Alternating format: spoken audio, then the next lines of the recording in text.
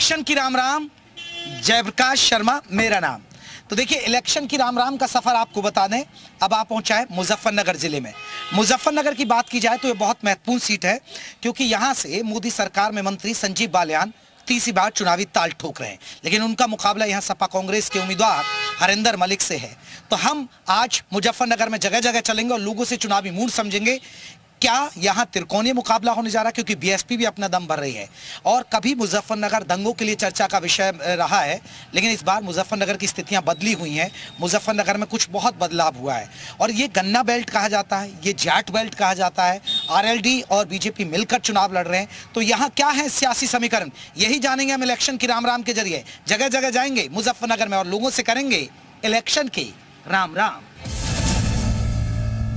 Election की राम राम का सफ़र आपको बता दें, मुजफ्फरनगर लोकसभा सीट पर है और हम यहाँ के देखिए, शिव चौक पर हैं। ये भगवान शिव का बहुत प्राचीन मंदिर है और जब भी यहाँ से कांवड़ यात्रा होती है, वो यहीं से निकलती है। ये बहुत महत्वपूर्ण जगह है। ये शिव चौक आप देख लीजिए।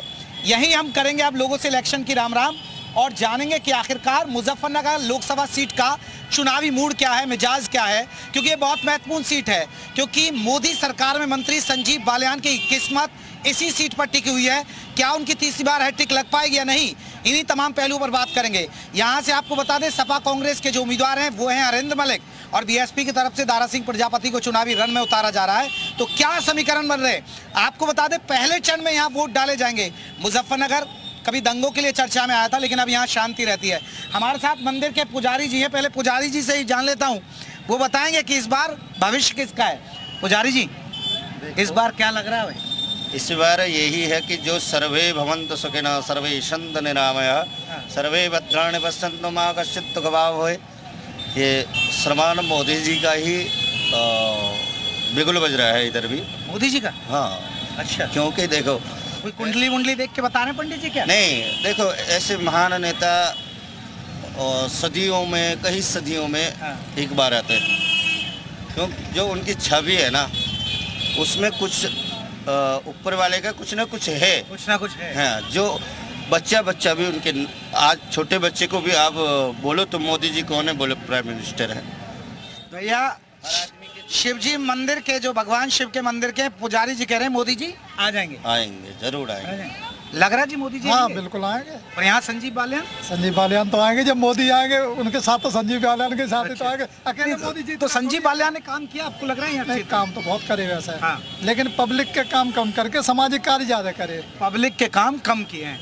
बाबूजी क्या लग रहा है इस बार भारतीय जनता पार्टी के टक्कर नहीं है अब। बाकी दल? बाकी दल बस हैं बस साथ में ही हैं। नहीं तो सपा कांग्रेस और बीएसपी आपको नहीं लग रहा है इधर का क्षेत्र भाजपा का ही है। अच्छा भाजपा का ही है। लग रहा है कि फिर से। हाँ जी। की मोदी जी की हैट्रिक बन रही है? बिल्कुल बिल्कुल। और बालियान साहब की? भाजपा साहब को तो अपना बन जाएगी। अपने आप बन जाएगी। लेकिन इतिहास रहा है मुजफ्फरनगर का। दो बार मौका देती है जनता। तीसरी बार देती नहीं है। लेकिन ये इतिहास पूरा होगा या नहीं होगा ये देखना होगा। अब चलेंगे बाज़ार के अंदर। ये शिव चौक है और यहाँ हम लोगों से चुनावी चर्चा करेंगे और लोगों से जानेंगे कि आखिरकार बीजेपी आएगी या जाएगी। इन तमाम पहलुओं पर बात करेंगे हमारे साथ। और अब बाज़ार के अंदर हैं कि आखिरकार इधर आंटी जी हैं। आंटी जी नमस्ते। नमस्ते भैया। ठीक हो? हाँ चुनाव आ गए। हाँ भैया। मैं भी आ गया आपसे आए ठीक है भैया। कोई आया अब तक टीवी वाला आपसे मिलने यहाँ? नहीं भैया। अच्छा शॉपिंग करने आई बाज़ार? हाँ भैया। क्या लग रहा है इस बार माहौल? मोदी जी या? मोदी जी रहेंगे भैया। इसमें अच्छा। भी कोई बात है? अच्छा। लग रहा है काम किया है? हाँ भैया क्या है। अच्छा काम किया है, बढ़िया काम किया हाँ। बढ़िया क्या है। और संजीव बालियान साहब ने? उन्होंने भी अच्छा किया है हमारे अच्छा। लग रहा है? हाँ जी तो वही रहेंगे। तो बाकी दल का कुछ नहीं लग रहा है? भैया ये तो सब लोग बताएँगे लेकिन हम तो अपनी बता सकते हाँ। हैं। अपने आसपास की बता सकते हैं। तो महिलाएँ देंगी मोदी जी को? मोदी जी को ही देंगी। राम मंदिर बनने से खुश हो? हाँ बहुत खुश है। राम मंदिर से। भैया ये कह रहे मोदी जी आ जाएँगे। फुल आए पड़े हुए तो? अच्छा। 400 प्लस है तो? 400 प्लस? हाँ। हो जाएगा? बिल्कुल हुआ कब हुआ पड़ा काम हो तो। अच्छा। आओ तो और संजीव बालियान जी का हो जाएगा अजी मोदी जी की और संजीव बालियान जी तो अपना आप ही आ जाएँगे चलिए लगातार देखिए लोगों से हम चुनावी बात कर रहे हैं और चुनावी मूड को समझ रहे हैं कि आखिरकार यहाँ मोदी जी आएँगे या नहीं आएँगे। चुनाव आ गए हाँ जी। तो मैं भी आ गया आपसे मिलने। अच्छी बात है। क्या लग रहा है? बढ़िया है। बीजेपी आएगी जाएगी? भाजपा आएगी। आ जाएगी? आ जाएगी। संजीव बालियान जीत जाएँगे? जितने पड़े। हैं? संजीव बालियान जितने पड़े। यहाँ कह रहे हैं टक्कर है हरिंदर मलिक और उनके। कुछ नहीं होएगा। अच्छा। संजीव बालियान ही। जीतेगा संजीव? हाँ जी। तो लग रहा है कि सपा और कांग्रेस मुस्लिम वोट एक तरफ़ जाएगा जाट चला जाएगा और फिर? नहीं नहीं ऐसा कोई नहीं है सब अपने एक साथ हैं। थोड़े बहुत जाएँगे वहाँ। ये कह रहे हैं संजीव मलिक जीत जाएँगे। संजीव बालियान? संजीव बालियान जी जीतेंगे जी। हैं? तो हरिंदर मलिक क्या करेंगे फिर? बस। देखते रह जाएँगे। हाँ? और क्या? कुछ नहीं कर पाएँगे। कुछ नहीं कर पाएँगे। तो काम किया? भाजपा बालियान जी जीतेंगे और कोई नहीं जीतेगा। मामला है। नाम आसिफ कुरैशी है हमारा। आसिफ कुरैशी सुनिए क्या कह रहे हैं यहाँ से सुबह अखिलेश को भी बुला लेंगे ना तुम अखिलेश को जब भी जीत नहीं पाले हर पंकज वही जीतेंगे संजीव बालियान। संजीव बालियान जीत बड़े। ढाई लाख वोट से जीतेंगे और सुनो लग रहा भाई साहब किसे जी? संजीव बालियान कह रहे हैं। एक तरफा हरिंदर मलिक चल रहा है मुझे हाँ ये आ जाए। एक तरफा? एक तरफा हरिंदर मलिक। एक तरफा? यहाँ तो संजीव बालियान अगर सम्मान बचाना तो हरिंदर मलिक को वोट करें। हाँ। सम्मान बचाना हो तो। हाँ। एक तरफा हरिंदर मलिक चलेगा। आपको लग रहा है कि इन्होंने काम नहीं किया? किने बहुत विरोध है संजीव बालियान का। धर्म की राजनीति करती है भाजपा। हरिंदर मलिक एक तरफा चुनाव जीत रहे हैं। ये कह रहे हैं हरिंदर मलिक एक तरफा अरे तो बावड़ा ऐसे चुनाव कोई जीत जाएगा हाँ? ये कह रहे हैं नहीं बाबला है। नहीं ऐसे कहने से क्या हुआ? एक बालियान जीते एक तरफा संजीव बालियान ने बहुत करेंगे संजीव बालियान जीतेगा। भाई यो है चुनाव। हर किसी को चुनने का अधिकार है। पाँच लाख से स्टार्टिंग करेगा हरिंदर मलिक। ये आपके दोस्त थे? अरे भाई विरोधी है मेरे। क्या विरोधी है?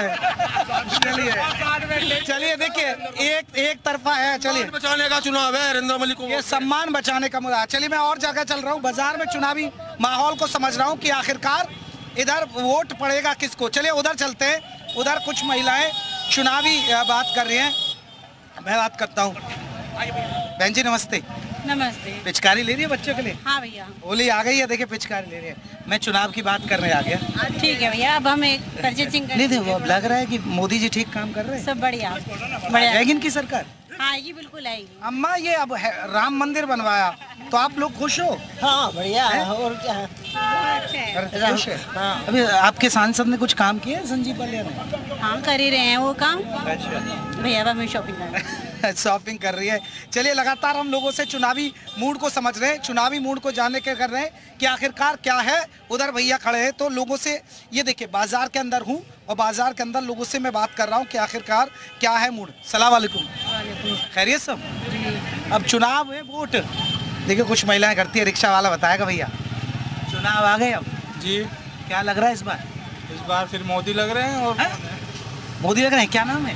मेरा नाम मोहम्मद साबिर है जी। अब ये तो कह रहे हैं कि यहाँ संजीव बालियान का ज़ोर है संजीव संजीव बालियान भी तो भाजपा में ही है। है? तो हरिंदर मलिक नहीं? नहीं। हरिंदर मलिक जो अच्छा काम करेगा उसे तो वोट देंगे। अच्छा। जी। तो अब ये कह रहे हैं कि हमने गुंडागर्दी खत्म की पहले मुजफ्फरनगर में दंगे हो जाते थे अब दंगे नहीं होते है लोग शांति अमन से है। जी तो सही सही बात है जी बहुत बढ़िया है। हाँ। हम रात को बेरात को कैसे भी चला लेते हैं रिक्शा पहले रिक्शा छीन लेते थे हमारी। हाँ। कहीं भी नशा घेर के घेर देते थे, लेकिन अब नहीं है ऐसा। देखिए, हम लोगों से चुनावी बात कर रहे हैं। सब तबके से जानने की कोशिश कर रहे हैं कि मोदी जी आएँगे, जाएँगे, संजीव बालियान की हैट्रिक लगेगी नहीं लगेगी? और देखिए, मुजफ्फरनगर के शिव चौक में है बाज़ार बाज़ार चलेंगे और भी लोगों से जानेंगे कि आखिरकार क्या है लोगों के मन में और मुद्दे क्या हैं मुजफ्फरनगर लोकसभा सीट के। तो दूसरे हिस्से में ले चलता हूँ आपको बाज़ार के में और वहाँ लोगों से जानता हूँ चुनावी मूड तो देखिए इलेक्शन की राम राम का सफ़र आपको बता दें। मुजफ्फरनगर लोकसभा सीट पर चल रहा है। जगह जगह हम जा रहे हैं। बाजारों में लोगों से बात की। अब हम एक दुकान में आ गए और यहाँ पर देखिए कुछ महिलाएँ कपड़ों की खरीदारी करी है। अम्मा राम राम कपड़े खरीद रही हो? हाँ जी। अब अम्मा चुनाव है। अच्छा। किसका लग रहा है मोदी जी ठीक काम कर रहे हैं या नहीं? ठीक कर रहे तो सरकार बन जाएगी मोदी जी की? बन जाएगी। अच्छा। देखिए कुछ महिलाएँ आप महिलाओं से हम बात करें तो शर्मा जाती हैं। तो यहाँ हम चुनावी मूड को समझ रहे हैं कि उधर भैया खड़े हैं। भैया से भी जानूँगा मैं। तेरे चलिए इधर आता हूँ मैं जरा। चाय की दुकान पे भी लोग बैठे हैं। पहले चाय की दुकान पे लोगों से बात कर लेता हूँ। चाय की दुकान चल रही है। बाबूजी ठीक हो? बढ़िया बाबू चाय पिला रहे हो? हाँ जी पी लो। अरे बस। अब चाय की दुकान पर राजनीतिक बात हो रही होंगी अब? नहीं नहीं हमारे पास नहीं होती। चलती है। वो तो कह रहे हैं चाय है उधर बात करो तो उधर। चाय वाला किधर जा रहा है इस बार? चाय वाला चाय देने जा रहा है जी चाय वाले के साथ जाएगा बदलेगा? नहीं नहीं हैं? कुछ नहीं बदलने का। कुछ नहीं बदलने वाला? सब मोदी की सरकार है। सब मोदी जी का? तो काम किया इन लोगों ने? हाँ जी बढ़िया किया। देखिए चाय वाला कह रहा है कि मैं तो चाय वालों के साथ जाऊँगा। आपको लग रहा है कि यहाँ बदलाव हुआ है? हाँ जी काफ़ी बदलाव बहुत गुंडा कर वगैरह? खत्म। अच्छा। नाम। और बालियान साहब ने कुछ काम किया? हाँ काफ़ी किया। अच्छा हाँ जी काफ़ी किया। बाबूजी सही कह रही है? नहीं नहीं नहीं बिल्कुल नहीं बदलेगा। यही सरकार रहेगी। ये कह रहे कि मुकाबला है हरिंदर मलिक यहाँ सपा कांग्रेस के जो नहीं नहीं कोई मुकाबला नहीं एक तरफा है भाजपा जीतेगी। एक तरफा भाजपा जीतेगी। तो हैट्रिक संजीव बालियान हाँ संजीव बालियान मोदी जी की मोदी जी के देखिए तमाम ये सही कह रहे भैया हाँ जी सही कह रहे हैं बिल्कुल। हैं? बिल्कुल। अच्छा। मतलब आपको लग रहा है कि इन्होंने काम किया कुछ? हाँ बहुत कर दिया। कोई नहीं कर पाएगा। कोई नहीं कर लेकिन यहाँ कह रहे हैं कि दो जाटों की लड़ाई फ़ायदा कोई और मार जाएगा। यो हम कह नहीं सकते जी हमें इतना पता नहीं। तुम किधर जा रहे हो? हम तो इधर ही। अच्छा बीजेपी के साथ? हम तो मर जाएँगे जीतते जी इसी के साथ हैं। और कहाँ अब जैसे यहाँ पश्चिमी यूपी में आरएलडी के साथ गठबंधन हुआ है उसका फ़र्क पड़ा है कि यहाँ पे? जाट जाएगा बीजेपी के साथ? अजी हमें तो उम्मीद इसी इन्हीं की लगा है कुछ ही कर लो चाहे। अच्छा। बीजेपी आनी। बीजेपी आनी। हाँ। चलिए भैया कह रहे हैं बीजेपी आनी है उधर चलते हैं और भी लोगों से बात करेंगे कि आखिरकार चुनावी मूड क्या है। ज़्यादातर हम लोगों से बात कर रहे हैं। आइए अंदर आइए यहाँ पर हम दुकान में कुछ लोग बैठे हैं। बाबूजी से ही लग रहा है। बाबूजी चुनाव आ गए। जी जी चुनाव आ गए मैं भी आ गया आपसे मिलने। आप भी आ गए जेपी जी। ठीक किया मैंने? बहुत ही बढ़िया किया। तो चुनाव की चर्चाएँ शुरू हो गई हैं? बिल्कुल चुनाव की भयंकर चर्चाएँ चल रही हैं। तो क्या लग रहा है इस बार? लगना क्या है? मोदी जी आएँगे? हैं? हाँ मोदी जी आएँगे। मोदी जी आएँगे। हाँ मोदी जी ने जो है जो वायदे किए थे मोदी जी निरंतर अपने वायदों को पूरा कर रहे हैं। हाँ। राम मंदिर बना दिया धारा 370 हटा दी। और नारी सशक्तिकरण का जो कार्यक्रम मोदी जी ने नारियों को माल्या सम्मान देने का कार्य किया है तो मोदी जी आएँगे महिला सशक्तिकरण। ये कह रहे कि लड़ाई इस बार टफ है। हरिंदर मलिक इधर संजीव बालियान तो दो जाटों की लड़ाई उधर दारा सिंह प्रजापति जो दलित वोट को खींच लेगा। तो बीजेपी की टेंशन बढ़ा रहा है और त्रिकोणीय मुकाबला हो जाएगा। प्रत्याशी कोई भी हो। वोट जो होनी है वो मोदी जी को होनी है। ये बड़ी बात है कि प्रत्याशी कोई भी हो वोट मोदी और योगी के मोदी जी के चेहरे पे मिलेगी। हाँ। प्रत्याशी को कोई भी वोट नहीं कर रहा है। हाँ। केवल मोदी जी को वोट कर रहे हैं। कह रहे मोदी जी योगी के नाम पे वोट है क्या? नहीं निश्चित रूप से मोदी जी के नाम पे वोट है। इसमें कोई दोराई नहीं है कि आज भारत की आप देखिए जो अमूलचूल परिवर्तन भारत के अंदर हम देख रहे हैं वो बहुत बार आमजन नहीं उस देख पाता। जैसे कि आपने देखा कि नोटबंदी हुई। नोटबंदी पे कितना विरोध हुआ, पर उसके बेसिक इफेक्ट्स क्या हुए, ये शायद आमजन नहीं समझ पा रहा। उसका एक उदाहरण मैं आपको देना चाहूँगा और उसे कोई काट नहीं सकता। जिस रोज 8 नवंबर 2016 को नोटबंदी हुई, उस समय भारत की जो वैल्यू थी नोट की अगेंस्ट डॉलर दैट वाज 68 और उस समय पाकिस्तान की वैल्यू थी 104 आज आप जानते हैं क्या वैल्यू है? आज भारत का रुपया अगेंस्ट डॉलर 83 पर है। और पाकिस्तान का रुपया डॉलर समझ में नहीं आता लोगों के। अब देखिए पेपर लीक एक बड़ा मामला मैं यूपी में जगह जगह जा रहा हूँ। आपको नहीं लग रहा है कि बेरोजगारी एक बड़ा मुद्दा है यूपी देखिए जहाँ तक बेरोजगारी का प्रश्न है मैं एक बात विपक्ष से पूछना चाहता हूँ। जो मोदी जी का या भारतीय जनता पार्टी का विरोध कर रहे हैं कि जिन लोगों को उन्होंने अब से पहले नौकरियाँ दी थी क्या वो मोदी सरकार ने नौकरियाँ छीन ली उनकी? वे लोग तो कोरोना में ये कहते हैं कोरोना काल आया तो गई नौकरियाँ बहुत सारी। प्राइवेट नौकरियाँ हो सकता है चली गई हो बिकॉज़ ऑफ़ सरकारी नहीं गई। सरकारी नहीं गई उसके बावजूद उसके बाद जितनी भी इंडस्ट्रियाँ लगी हैं या जो इंडस्ट्रियाँ बंद हुई थी वो फिर से ओपन हुई हैं। और जो एमएसएमई की आप देखते हैं स्थिति एमएसएमई में जितनी इंडस्ट्रियों का डेवलपमेंट आज हो रहा है वो सब रोज़गार दे रहा है। मुजफ्फरनगर दंगों की वजह से चर्चा में रहता था लेकिन लगता है कि अब शांति अमन है इनके आने से और गुंडागर्दी खत्म हुई। योगी सरकार और मोदी सरकार के आने के बाद मुजफ्फरनगर में दंगा नाम मात्र का भी शून्य हो गया है बिल्कुल। आप कभी भी कहीं भी किसी भी समय जा सकते हैं। पहले वरना स्थिति होती थी कि आठ बजे के बाद में कहीं भी आप देहात में जा नहीं सकते थे। और हिंदू मुस्लिम भी आपस में जो है ना एक भय रहता था एक दूसरे के प्रति विश्वास नहीं बन पाता था। आज आप मुस्लिम मोहल्ले में चले जाओ मुस्लिम हिंदू मोहल्ले में आ जाए कोई कहीं कोई किसी तरह का भय ही नहीं है। देखिए मुजफ्फरनगर में और ये चर्चा का विषय है ये सीट क्योंकि मोदी सरकार में मंत्री संजीव बालियान की प्रतिष्ठा दाप पर है।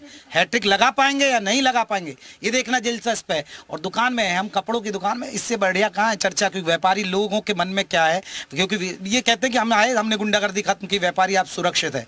भैया लग रहा है सुरक्षित है? बिल्कुल सुरक्षित है। अच्छा भैया कैश संभालते हैं?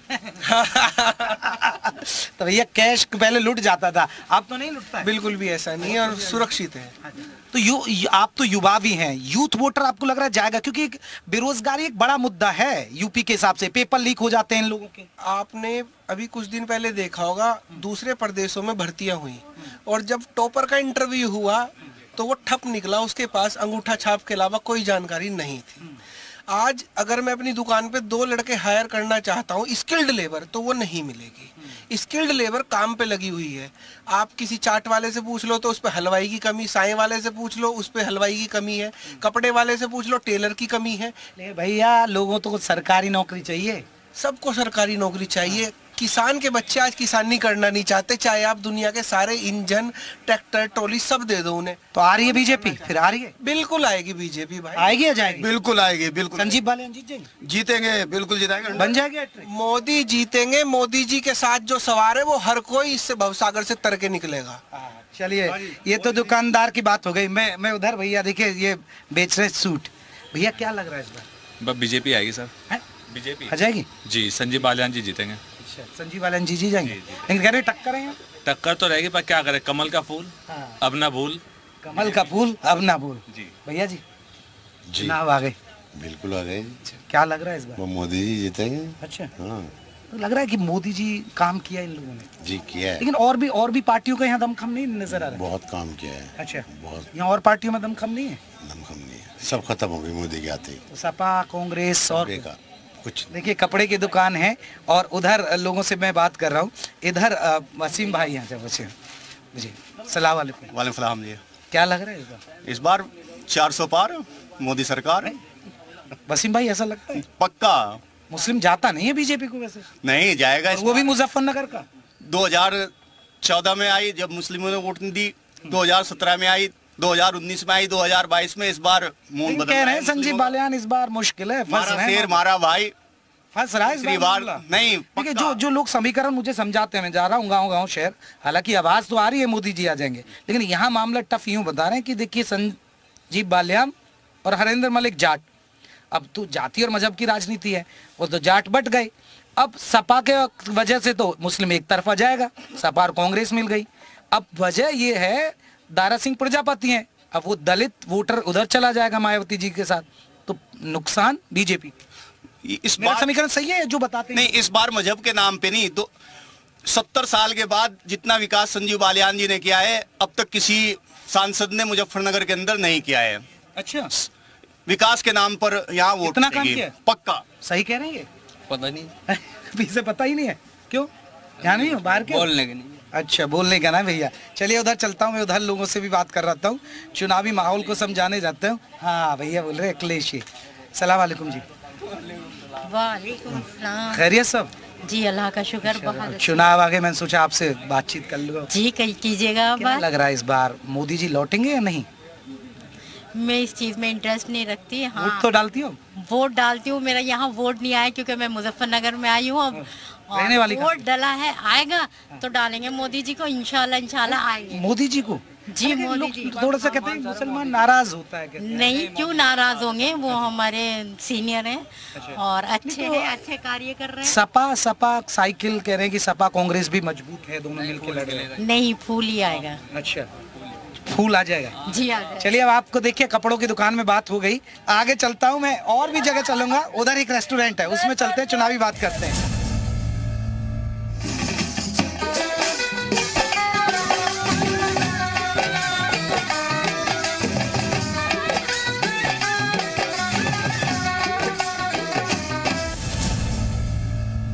चुनाव आ गए जी। क्या लग रहा है? भारतीय जनता पार्टी की चारों तरफ़ लहर चल रही है। 400 पार का जो मोदी जी का नारा है हम उसको अचीव करने जा रहे हैं। लेकिन मुजफ्फरनगर में मुश्किल है। अरे नहीं दो लाख से अधिक से चुनाव जीत रही है भारतीय जनता पार्टी। जब पिछली बार इतना बड़ा गठबंधन था चौधरी अजीत सिंह सामने थे सब दल एक साथ थे तब हमने सीट जीत के दिखाई है। इस बार विपक्ष बिखरा हुआ है और हमारा काम संजीव बालियान का काम बिजनौर के अंदर हमारा काम हमारा काम बोल रहा है। नहीं लेकिन कह रहे हैं कि इस बार जातीय समीकरण में पार्टी फंस जाएगी। नहीं नहीं बिल्कुल नहीं बिल्कुल नहीं ऐसा लग रहा है। सब समाज सब समाज एक मत होकर भारतीय जनता पार्टी को वोट देने का काम अस्सी जीत रही है बीजेपी? अठहत्तर सीटें निश्चित तौर पर जीत रही है दो पर संघर्ष है। आपको लग रहा है विकास के दम पर? विकास के दम पर जीतेंगे, सबका साथ, सबका विकास, सबका विश्वास के दम पे जीतेंगे। जो हमने गरीबों के लिए काम किया है, योजनाएँ चलाई हैं, उज्ज्वला योजना मकान देने का काम, उनके बल पे हम जीतने का काम कर रहे हैं। 400 एमपी हमारे जीत कर आ रहे हैं और मोदी जी तीसरी बार इस देश के प्रधानमंत्री बनेंगे। देखिए, सबके दावे दावे हैं और सबके अब दावे और वादे देखना है कि अब चुनाव है। लेकिन मुजफ्फरनगर की बात करें, पहले चरण में चुनाव होगा। जब भी आप घरों से निकले तो वोट ज़रूर डालिएगा, ये मेरी अपील है। चलते हैं अगले सफ़र पर और भी लोगों से करेंगे इलेक्शन की राम राम।